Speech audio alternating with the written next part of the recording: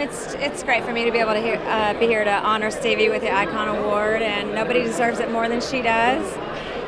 When I was in seventh grade, she was really the reason that I wanted to do what I'm doing now. She was just a huge influence on me, and a few years ago, I got to work with her in the studio and produce some of her own songs. And she's a great friend, a great artist, and I love her. Well, I mean, I think "Landslide" is one of the greatest songs of all time in any genre. Um, know, all that early Fleetwood Macs, even her solo stuff. She's just very prolific and she's a true artist. She draws all the time, she paints, she writes poetry. She's just a true artist.